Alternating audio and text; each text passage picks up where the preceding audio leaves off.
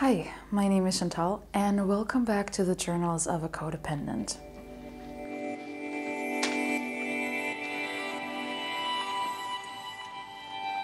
So apparently it seems as if I have to make a disclaimer at the beginning of every video, but um, well, this is my opinion only.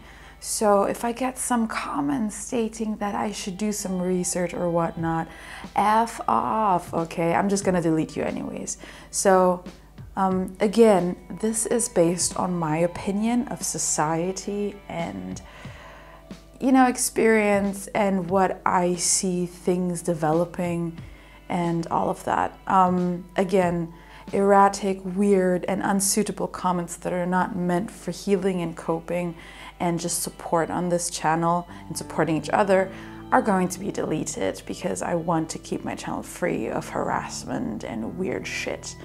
So, with that being said, why I think we all are in some ways more or less addicted to something um, and why our society has become this way. So, um, I basically I think I believe that we've there's always been something for humanity that we can escape to um, ever since we've become we've become civilized. So I don't really I, I think that there must have been something when we were in the Stone Age. You know, when we were. Um, still in the caves where that, that kind of helped us escape from reality, whether it was taking some form of drugs that they didn't, you know, weren't aware of, something to uplift your spirits.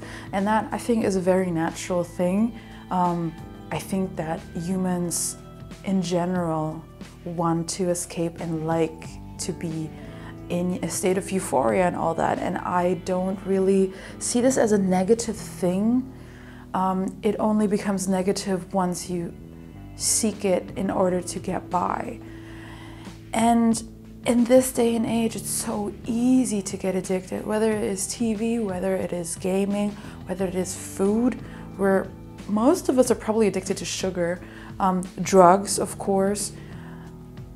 Alcohol is like the easiest thing to have access to nowadays. Um, buying things, addicted to love. There's, you know, whatever it is, you name it, there it's there. It exists. But the question is really why? Why do we feel the need to feed our addiction? What is it that we're trying to compensate? So to me, an addiction is always a form of compensation of something that you don't have in your life. It's something that makes you feel at home, maybe. It's something that makes you feel high and feel good because nothing in your life does. Or maybe everything in your life does, and you've just been unlucky. Um, it's something to help us escape from the reality. And most of the time, it has something to do with deep within us, like something's missing or something that we don't feel we deserve. So, that that's the kind of life that we deserve. I don't think anyone grows up thinking, or, or a few people in this world grow up thinking that, let's say, taking hard drugs like heroin or methamphetamine is a good thing. Um, even drug addicts who, who are currently still addicted tell other people that it's not a good thing. So I don't believe in this evil and good kind of thing going on. But I think that if we all just repaired ourselves from within, we wouldn't have as many addicted people in this world. We wouldn't have as many people, you know, falling for consumerism, falling for buying stupid shit that you don't need just because you think it's cool, it satisfies your craving at the moment. I mean, I do that all the time.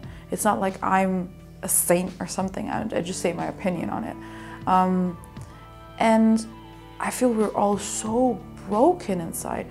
There are just a few ignorant people, and I call them ignorant for a reason, that really like have it all together. They have their lives together. They have everything, you know, they do everything by the book by the book. And that's very commendable. At the same time, there's no emotional depth. And what is it really that we need to do? What is it really that we need to do in order to prevent um, getting addicted in order to heal, in order to not seek out external things and try to look within us. And it really is a process and it really takes time um, to fix what's within you before you seek external validation and external gratification via an addiction or something less than that. It doesn't even need to be that. It can just be, um, I don't know, let's say using the TV to escape and, and I don't know, binging on Netflix for like weeks and weeks on end. And please don't forget to differentiate between a hobby and an addiction. So, addicted behavior is something that you do at an expense or at the cost of something else. Um, at the cost of your health, at the cost of a relationship, money, whatever it is. So if it's within healthy boundaries, if you do it one or two hours a day, I'm not saying one or two hours a day of heroin is a good thing, because they get that gets you addicted more. I'm talking about the differentiation between hobbies and an addiction, um, or a hobby that you love, a passion versus addictive behavior. And this is also a very interesting concept of where things kind of get blurry. When is it an addiction? When it's something seemingly positive? And when is it just passion? Um, and I feel we just judge too quickly. We judge harsh on people who are addicted. Yes, my advice was think about yourself first when you're with an addicted person because there's nothing you can do. The person has to do it him or herself, and that's the that's the central problem of it. Um, but I don't condone or I don't think it's a good idea to put them all, you know, put them all in one basket or, or say that they're all evil people because they're not. They're just victims of their own behavior. They're victims of their own fate sometimes, you know, being around the wrong people. And so going back to the essence of it is something that you seek externally that you should have sought internally and you should have repaired internally. From what I've learned with my ex-boyfriend was that I think he just wanted to be loved at the end of the day, he just wanted a family and wanted to be loved just as much as his siblings were loved. And I think it's the love of his mother that he tried to fight for externally, I guess. Um, maybe he wasn't aware of it either. This is just my, you know, kind of pseudo psychological um, explanation for it.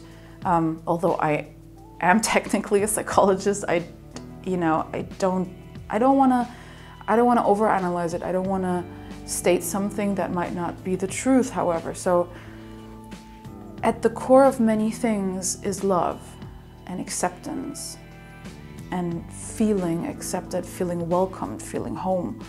And if we work on this core, and that's really hard to do, um, I think we can all better ourselves. When we work on the core of accepting ourselves by whatever it is that we love to do, do it more. Whatever it is that you say positively to yourself, say it more. I think that's when we become more or less resistant against drugs and things like that. This has never really been the case for me. I've never accepted myself, even though I was very, excuse me, very confident of myself. So it's a weird thing. I was never really prone to, like, extreme addictive behavior. I, am very prone to addictive behavior when it comes to food, when it comes to consumption, um, but I'm not. I'm not. Um, I, I can stop myself before I lose control, but it's not. It doesn't make me any better. So I realize that investing time in myself and developing myself, even though it's hard and it takes a lot of time, prevents me from binging, prevents me from getting addicted to something else because one addiction follows the next, right? If you're if you were addicted to drugs, you try to find a substitute for it.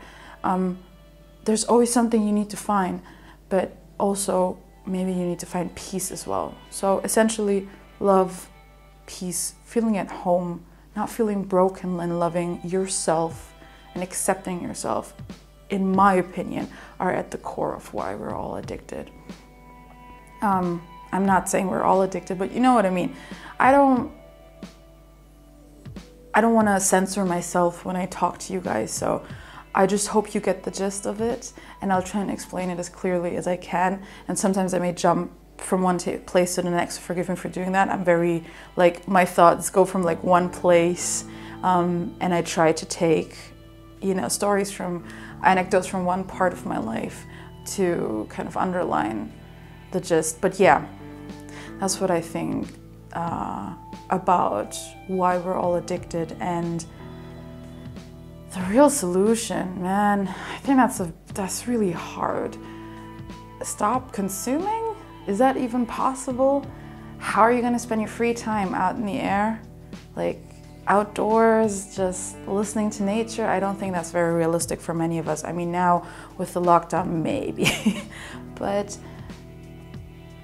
meditation, um, exercising, that has helped me a lot. Like finding the balance within me and finding myself.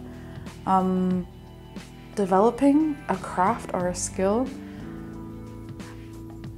Investing in your future in terms of creating something. Not saying YouTube or anything, I mean like could even be creating a life. Find a different meaning in your life other than drugs to avoid um, or other than ad addicted behavior in general to avoid that. Um, yeah, well, I'm starting to ramble, so uh, that's it for today. That's why I think uh, we're all, or that's why I think we're addicted. And um, see you soon.